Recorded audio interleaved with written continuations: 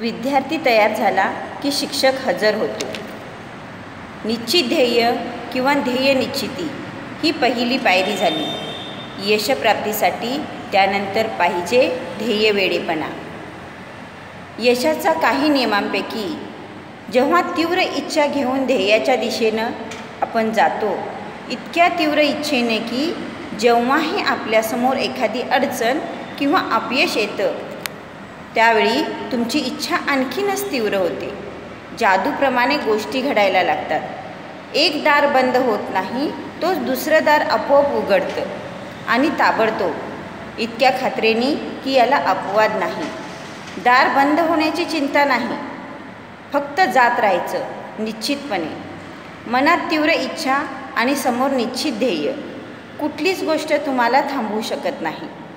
असा एक माणूस जगात नाही जो तुम्हाला तुमच्या ध्येयप्राप्तीपासून रोखू शकतो. इच्छा तीव्र असताना रस्त्यात कुठलीही अडचण आली तर अडचणीवर मात करण्याचा मार्ग तुम्हाला सापडेलच. इच्छा तिथे मार्ग. इच्छा तीव्र असली तर इच्छेच्या पूर्तीसाठी सामान्य साधारण माणसाला असामान्य शक्ती मिळून जाते. तुम्ही कुठलंही वाजवी ध्येय प्राप्त करू शकता. प्रश्न एकच आहे यशस्वी होण्याची इच्छा किती तीव्र आहे? यात जराही शंका नाही. जर तुमच्याजवळ इच्छा असेल तीव्र इच्छा तर तुमच्या यशाची गॅरंटी खूप मोठी असते. माणसाकडे तीव्र इच्छा असणे म्हणजे ध्येयप्राप्तीपासून माणूस झपाटलेला असणे ही गोष्ट आहे ज्यामुळे माणूस कुठलीही कुठल्याही अडचणीतून मार्ग काढू शकतो.